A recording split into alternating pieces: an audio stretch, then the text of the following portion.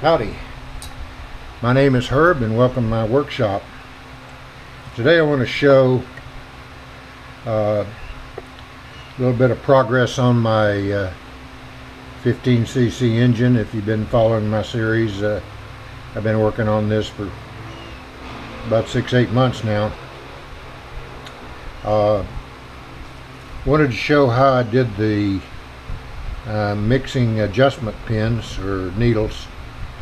And uh, uh, so that's the that's the subject today. I've got a ruler here just to show you the the size uh, of these uh, these needles. Uh, first of all I took some 3 8 inch brass rod and uh, knurled it and I sliced off these little uh, little uh, knob handles and it's uh, of course it was drilled. Then I hand tapped them to uh, uh, 256 which is smallest I've ever done anything but that's how I did the the knob portion.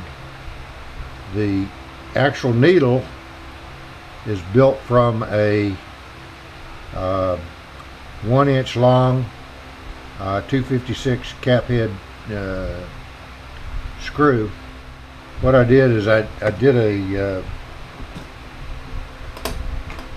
a jig. This is not the right one but uh, you thread it in there then on the grinder I usually go from the other side. And I'll grind that off flat. Then unscrew the screw out.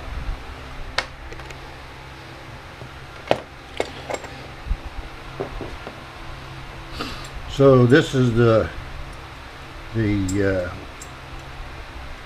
ER32 uh, collet. This is a 1 16th uh, collet which is the smallest I had but a 256 screw will tighten up in there. It uh, it uh, takes a little while to get it tight, but it will tighten up.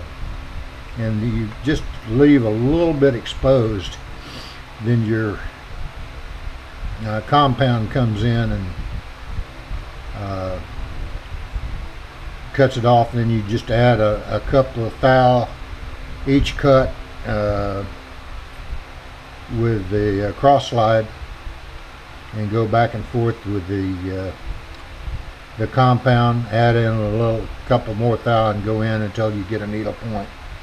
And uh, as I said before this fits in uh,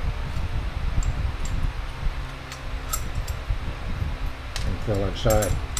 This fits in the uh, the six jaw chuck on my lathe. And of course that will go in there like that. But you put it in there and set your uh, compound to uh, uh, 20 degrees or whatever the angle you're going to take and very carefully and on the highest speed the lathe will go uh, turn it down to uh, where you've got a, a, needle point. So that's that's how those are done. And those fit in various places on the carburetor. But that's the uh, that's the adjustment uh,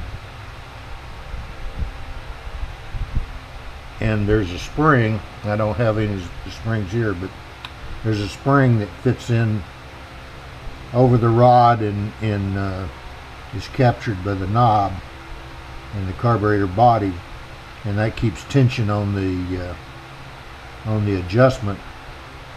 So as uh, it didn't change with vibration but uh, so that's the uh,